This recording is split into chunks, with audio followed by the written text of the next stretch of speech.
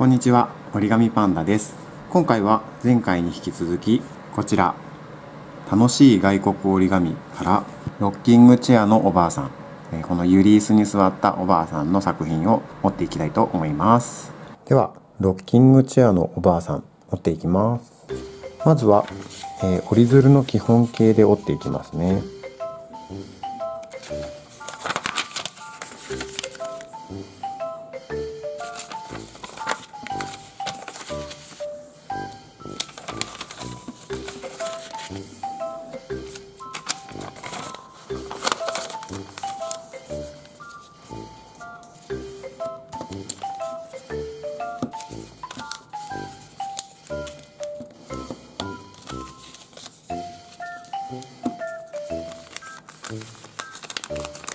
は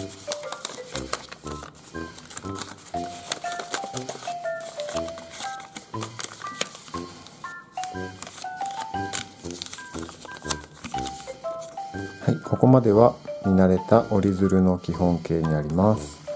中の2つを持って左右に引っ張ります。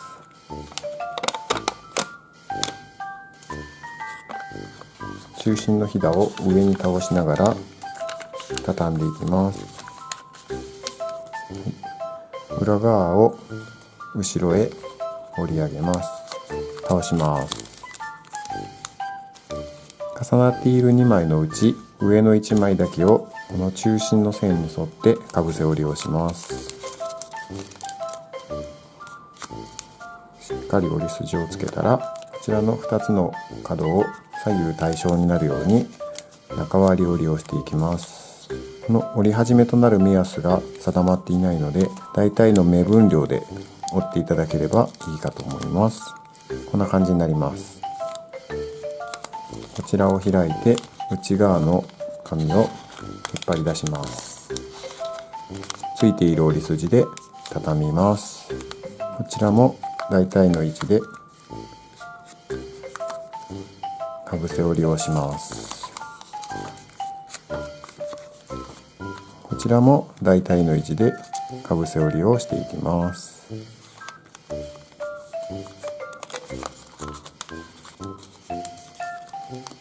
この角とこの角を合わせるようにかぶせ折りをします。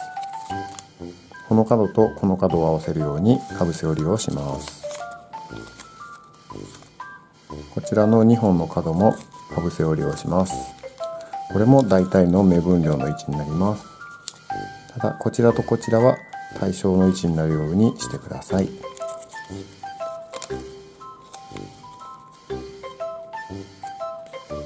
頭の帽子の先端を少しだけ折り返します。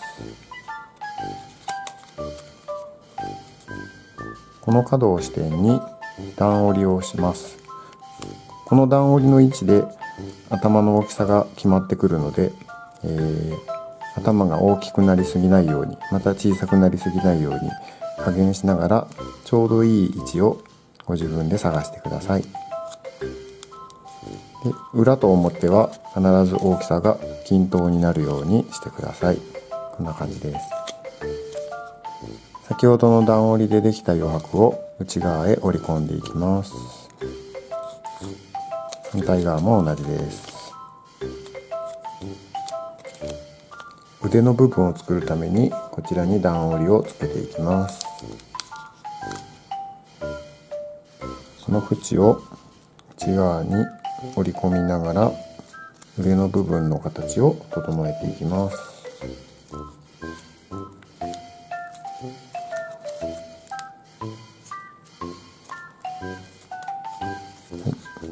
背もたれの部分を引き出します。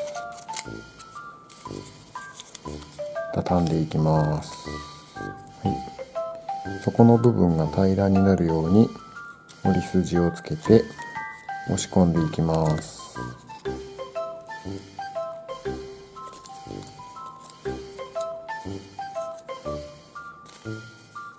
はい。これでロッキングチェアのおばあさんの完成です。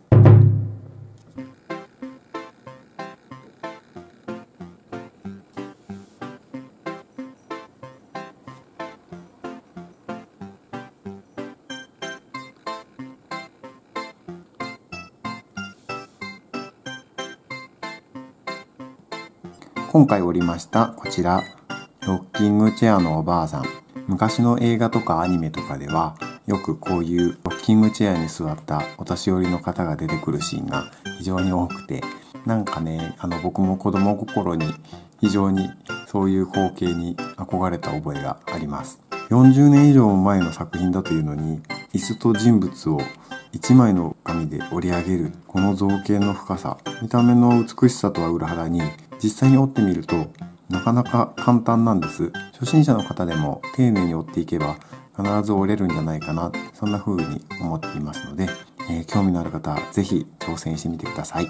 楽しい外国折り紙、えー、もう廃盤になっているため古本屋だとかオークションサイトだとかで、え中古の本を探すしか、え入手する手段がないと思うんですけども幼い頃の僕がすごく夢中になった折り紙がたくさん載っています。